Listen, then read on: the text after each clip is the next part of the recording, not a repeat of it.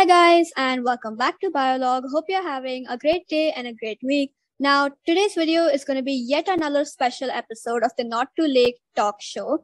This is going to be episode two with a fellow science enthusiast, Vishesh Gohar. Now, today we're going to be talking about a very interesting physics discovery, which is not something we usually do on this channel since it's mainly about biology. So make sure to like, share, and subscribe to Biologue for more such interesting videos. And without further ado, let's begin. So, Vishesh, what will we be talking about today? Okay, so today we'll be talking about an exciting new discovery in physics made in 2020 and this was the breakthrough where a couple of scientists managed to find a room temperature superconductor. Hmm, so what exactly is a superconductor? Right, so I'm sure most of you have heard of a conductor. Put simply, a conductor is something that can conduct electricity.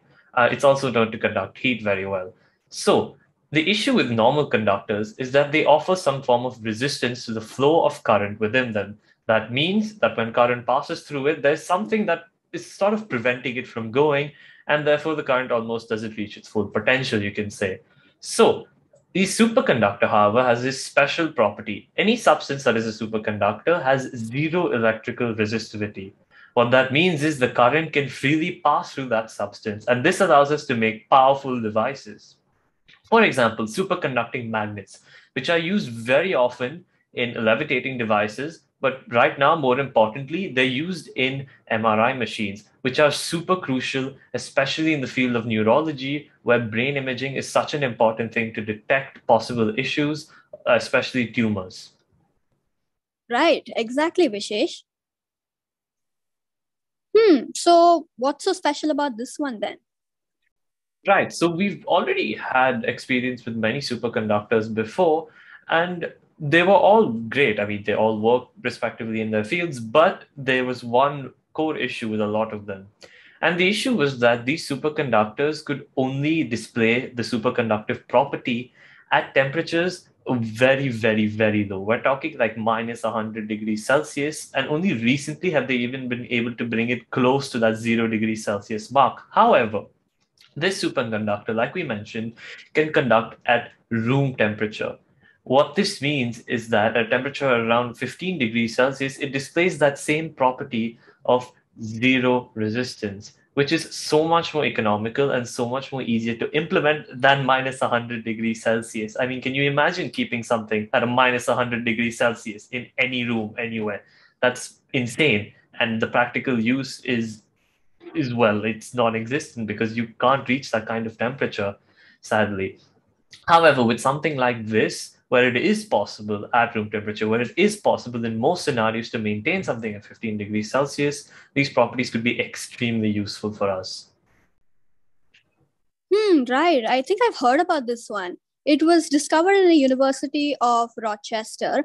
Now, we know that electricity is the flow of electrons, right? When the electrons flow through the metal conductor, they collide with the positive atoms of the metal. And so there is friction, which causes heat to be produced.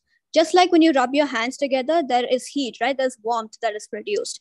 So now this makes the energy loss very, very high. So due to high amount of energy losses, the transmission of electricity in power lines as well becomes extremely expensive. Okay, so this superconductor was discovered at the University of Rochester by Dr. Ranga Dias and Dr. Ashkan Salamat. But before we talk about more about this compound, let's go back a little bit. In 2018, a compound of hydrogen and lanthanum at high pressures was shown to be superconductive at minus 13 degrees Celsius. And in the grand scheme of things, that's fairly close to 15 degrees Celsius, and it's a possible temperature to maintain. But What's different about this compound is, unlike previous superconductors, this one is actually made of three materials, not just two. So it's made of carbon, sulfur, and hydrogen.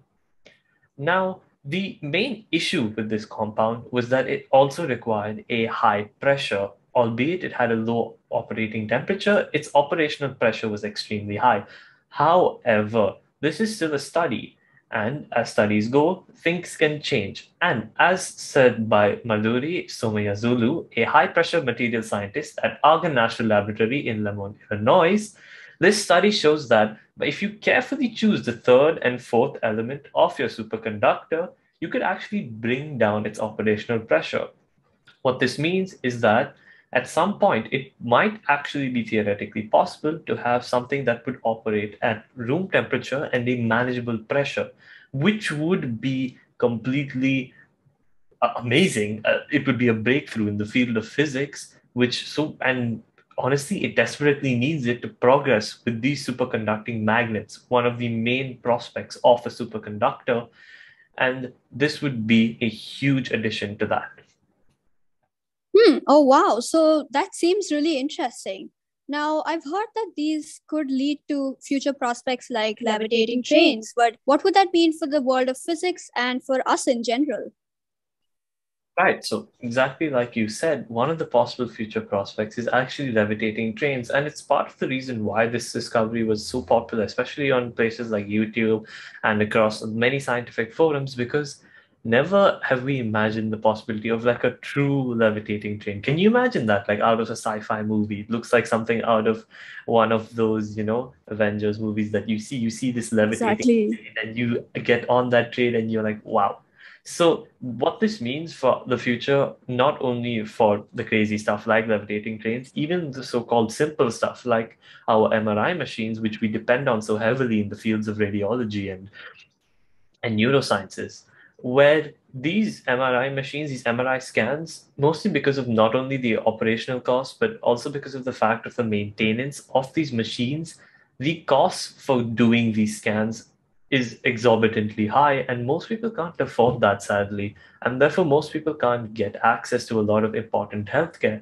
But with the implementation of these superconductors, which can superconduct at minute room temperature, which means that the system itself does not have to be as complicated since it doesn't have to cool the substance down so much. And because of this, these superconducting magnets itself become a lot more easy to implement, and hence the cost of operating and maintaining the machine would probably go down.